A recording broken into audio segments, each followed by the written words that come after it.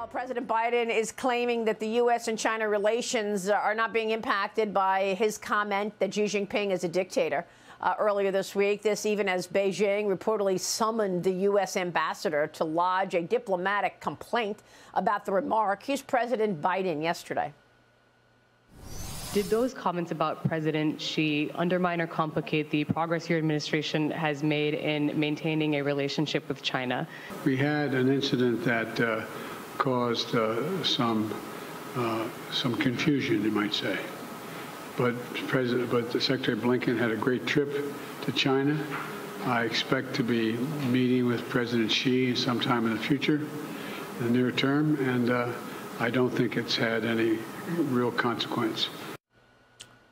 Joining us right now, live from Taipei, Taiwan, is AFPI Senior Fellow and Chairman of the China Policy Institute, uh, I'm sorry, the China Policy Initiative, DC International Advisory CEO, and former Deputy National Security Advisor for Dick Cheney. Stephen Yates is here. Steve, it's good to see you. Thanks very much for being here. Thank you, Maria. Great to be with you. Yeah, I want to get to your trip to Taiwan in a moment. I want to get your feeling about what the sentiment is on the ground. But first, give us your reaction of Biden calling uh, Xi Jinping a dictator, which, of course, we all know he is a dictator. This was the first time the president said anything uh, that could be considered untoward toward the, the dictator in Beijing. Your reaction?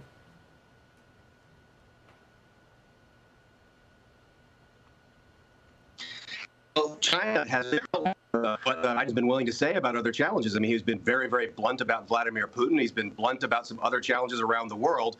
And he's sort of had kid gloves in talking about the leader of China in ways that people have accused former leaders of the United States of doing. And so we had, in this instance, President Biden unusually blurting out something we all know to be true, but it happened right at the time he's sending his team out to China and around the world for a charm offensive. He's got Secretary Blinken, who's kind of begging for a resumption of meetings. We have uh, Secretary Yellen talking about getting the economic team back on track. So there's this effort at a thaw from the Biden administration. And so far, Xi Jinping and his team aren't having any of it. And having the president call him a dictator eh, to a closed door group uh, and having it leak around the world gave the Chinese an opportunity to dress down our ambassador and kind of go through their channels to put the United States back in their debt to take responsibility for breaking U.S. China relations. This game continues, but the facts on the ground just remain as we've always discussed. China being very yeah. aggressive and the U.S. not really doing much to push back. And the president continues just throwing these things out, but not really doing anything with any follow up. By the way, the president also reportedly talked about sensitive information about the Chinese spy balloon, the spy flight at a California fundraiser this week. Biden told 130 guests that Xi got upset when the U.S. shot down the spy flight because he didn't know it was there, calling it a quote, great embarrassment for dictators. The New York Times says that officials were surprised by the remarks, but that they, quote, accurately reflected the American government's private assessment. Steve, I mean, to, to say that Xi Jinping did not know that a spy balloon was traversing the United States, I mean, look, I'm an outsider, but to me, I say, are you, are you for real? I mean, this, this guy knows everything that's going on and is controlling the country of China and controlling anybody who gets in the way of their path. And you're going to tell me that Xi Jinping did not authorize the spy balloon and did not know about the spy balloon traveling across the United States, sending military secrets back in real time? I mean,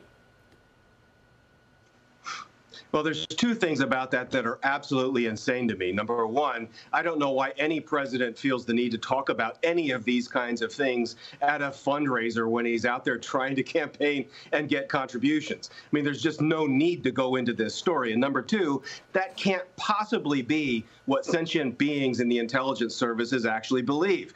Uh, we know that there was transmission of data. We know that there were issues. And we know that if they're doing those things, they wouldn't dare do it without a blessing from from above. Uh, and so, in the greatest surveillance state known to mankind, sadly, the People's Republic of China, it's just not not possible for Xi Jinping to be completely unaware of it. This is some goofy story to try to spin a narrative so that they can have a comfortable meeting and Xi Jinping can come to the United States to attend the APEC summit later this year. That's all. Please join the conversation. Put your comments and suggestions below in the comment section. Thank you for subscribing to this news channel. You will be notified of any breaking news and new post as you become part and parcel of the MEKADD TV family. Please like and share MEKADD TV. We love you all. Please support MEKADD TV Foundation by joining membership and visiting Amazon UK to purchase the displayed books to aid our orphanage projects across Africa.